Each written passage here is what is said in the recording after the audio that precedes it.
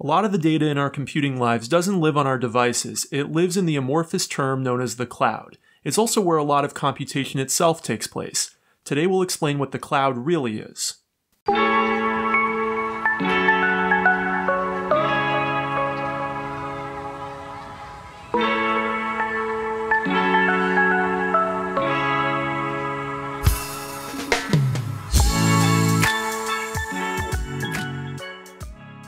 Welcome to Kopec Explains Software, the podcast where we make computing intelligible. This week, Dave, we're discussing the cloud.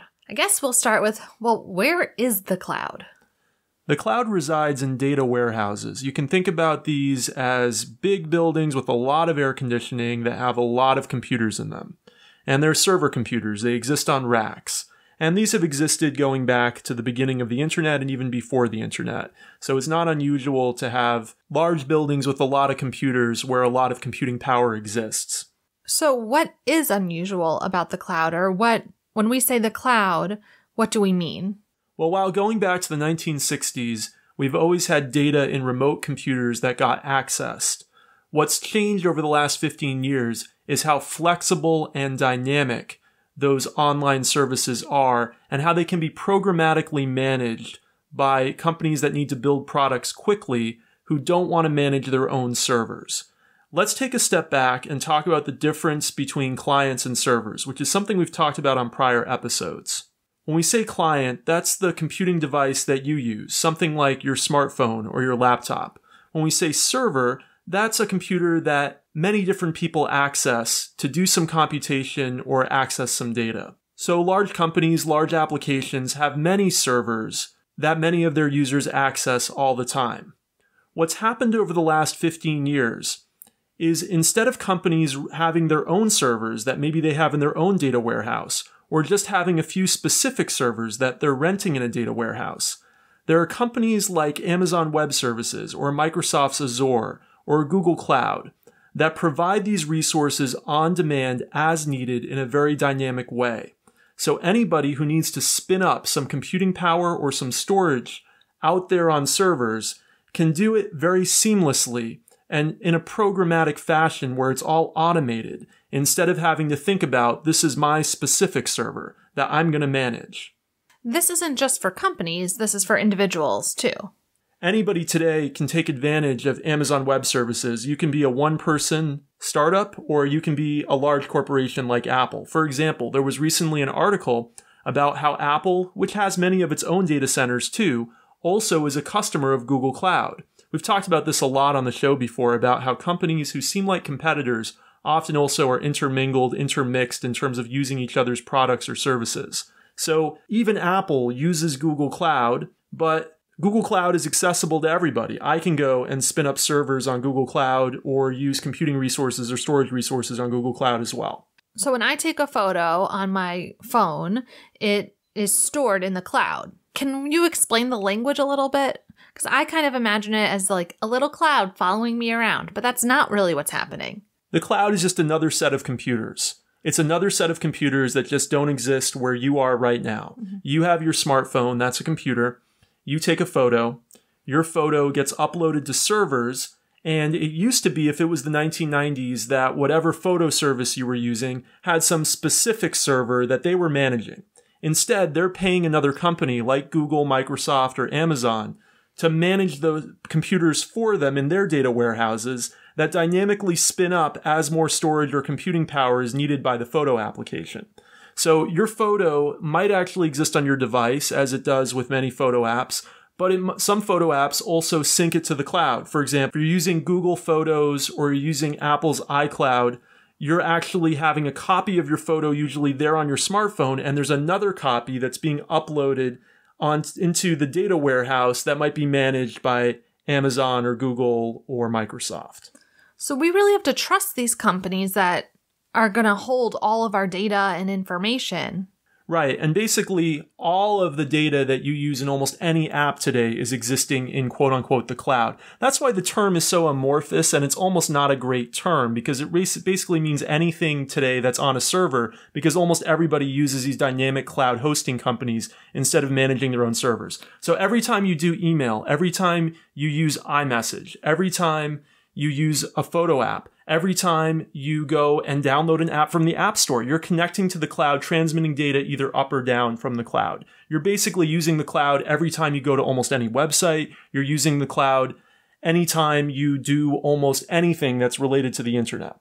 So for a individual computer user, this is a, a shift. It used to be that all of our data or any of the applications that we're using were really housed on our device and our computer. And now the applications that we're using, we're actually communicating with other computers to do whatever it is we're trying to do. Right. And as the internet has become more prevalent, this line has blurred more and more and more. Mm. So the internet became a public entity, not just a government and academic entity, starting in the early to mid 1990s. And before that, if you had a personal computer, basically all of your data was just living there on your personal computer. In the early World Wide Web and through basically the mid 00s, there was still a pretty clear line where you were using an app on your computer and most of the data was just staying on your computer. And when you were using a specific internet application, such as your email client or a web browser, some of the data was living on servers. Now, when you're using almost any application, some of the data is pretty much living on these servers. And this whole idea of these servers being dynamically allocated and managed by third parties is where the term the cloud came about. Can you dive into the dynamically allocated term? Like, what do you mean by that? So, if you wanted to have a web server in the late 1990s or, early 00s, generally what you would do is you'd go to a web hosting company and you would rent basically some space on an individual computer in their data warehouse. The way that Amazon Web Services or Microsoft Azure or Google Cloud work is you're not really going and renting space on one specific server. You're renting access to some compute time, some compute power, some storage capacity and you're not worrying about what is the specific machine that's doing this. You're just having an instance of some time on some machine. Or sometimes you get a dedicated machine, but you're not really individually managing it, and no one's really going and individually thinking about that individual machine too much, other than to do maintenance as you would on any piece of hardware. It's a lot less about individual machines and more about on demand resources. And those resources are scattered across huge networks of many, many, many machines. But you as an individual user, or even somebody who's using many of those machines, is able to use APIs to request more resources, to no longer use some resources, and all of this happens just seamlessly without having to think about what's actually going on at the individual machine level. So it makes it much easier for a company to scale its use of resources because all of that can happen automatically instead of having to think about individual machines. What it's really done is it's commoditized storage and computing power. It's made it so that it really doesn't matter whether you're buying services from any of these cloud providers, they all basically offer the same thing. Some of them will have some nice add ons or nice integrations that make working with them a little bit better or a little bit worse but it's more has really become about price. And it's more just about how much resources do you need and which company offers the nicest interface to those resources. Now, unfortunately, it also means that it's gotten harder and harder for smaller data warehousing companies to compete because Microsoft, Google, and Amazon have economies of scale. They have such sophisticated tools for managing these networks. They have such large buying power and such great scale in terms of their use of electricity and cooling, et cetera, et cetera, that it's possible for them to really offer scalability that smaller competitors can't match. So people sometimes see the cloud as kind of like a scary term, but really it just means data's on a server. And when we talk about the cloud today, we're really usually talking about these large services like Google Cloud, Microsoft Azure, or Amazon Web Services, and the scalability and programmatic access that they provide to corporations. Really, the cloud term is a marketing term.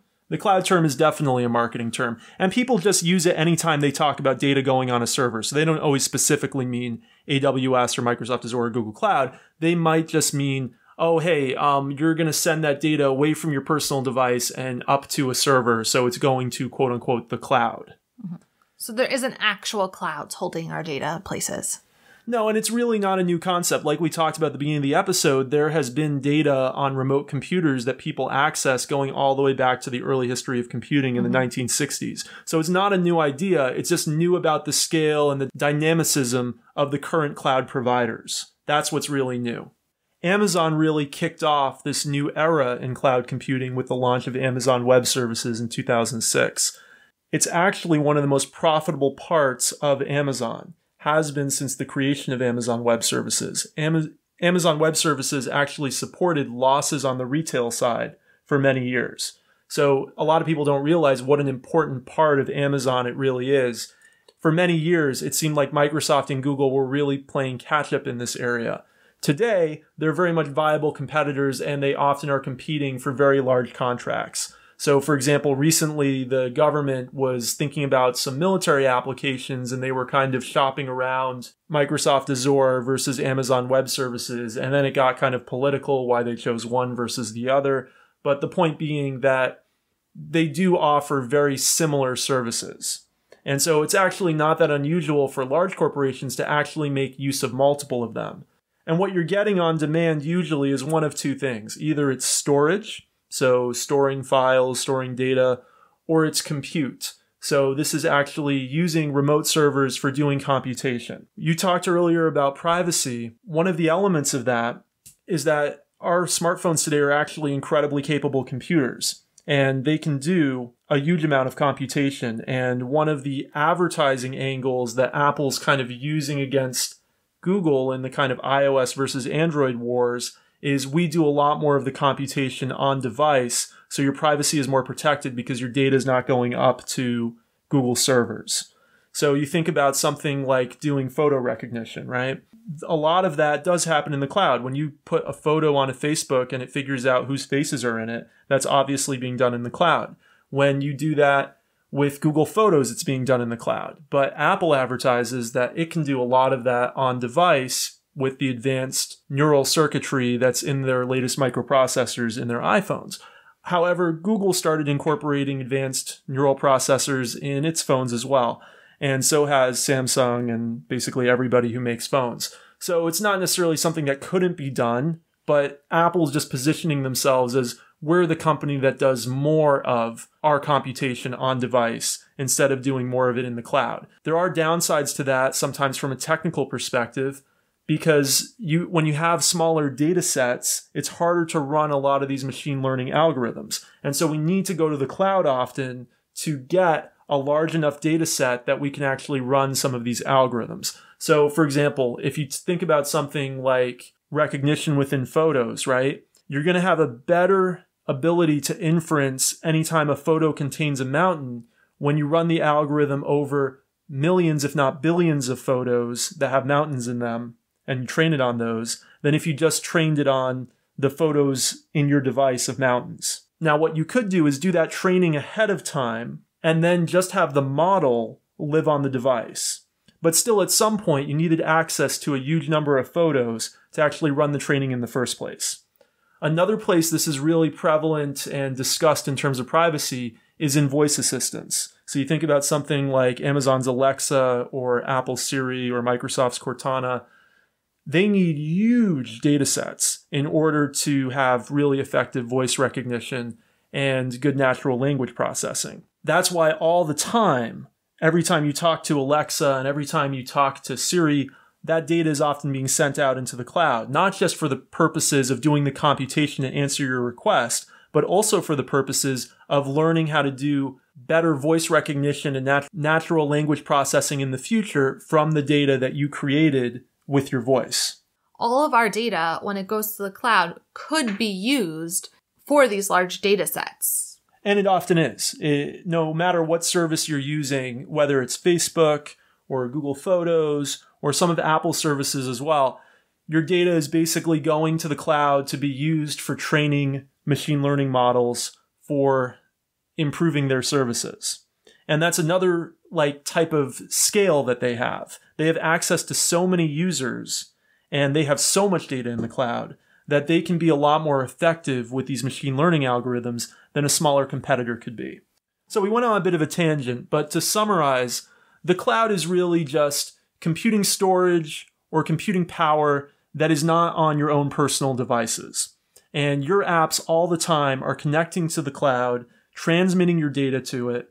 And it is oftentimes, when we talk about it today, one of three services Amazon Web Services, Microsoft Azure, or Google Cloud that are actually handling the back end, handling the dynamic capacity for storage and compute for almost any app that you're using. But this whole concept of just having your data on another computer somewhere else that you're accessing goes way back. And so these modern services are just providing a nice interface and economies of scale And for access. and access for companies to build on. All right, well, thanks for listening to us this week. Rebecca, how can people get in touch with us on Twitter? We're at Kopec Explains, K O P E C E X P L A I N S. Feel free to shoot us a tweet and let us know topics that you're interested in us covering in the future. And we hope you have a fantastic week. Don't forget to hit follow or subscribe. Thanks for listening.